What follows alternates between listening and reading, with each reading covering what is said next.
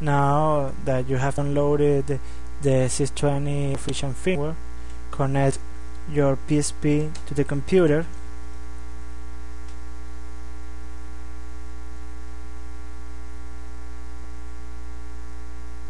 Okay the la the left side is the computer the right side is the memory stick. In the memory stick go to the PSP folder game update if you have something there delete it.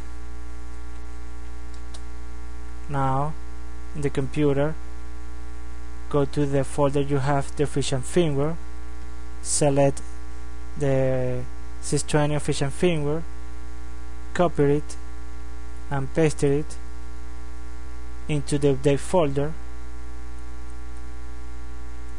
You have to rename this file to eboot eboot.pbp now I'm on the bottom.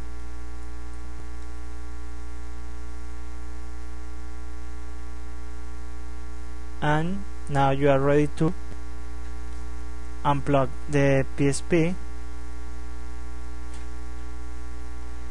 now go to the XMB menu on the PSP to proceed with the update